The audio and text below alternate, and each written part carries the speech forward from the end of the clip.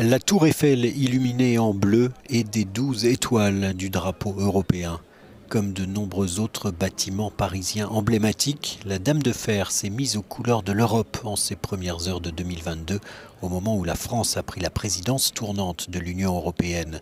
Le Louvre, Notre-Dame ou l'Opéra Garnier ont aussi été illuminés d'un beau bleu électrique, mais c'est une polémique toute politicienne qui a monopolisé ce week-end de nouvelle année. Dans la nuit de samedi à dimanche, en effet, le drapeau européen qui flottait sous l'arc de triomphe pour le début de la présidence française de l'Union a été retiré, laissant sa place au drapeau français. L'extrême droite y a vu une victoire patriotique, mais l'Élysée a corrigé. Retirer la bannière européenne a été fait selon le calendrier prévu.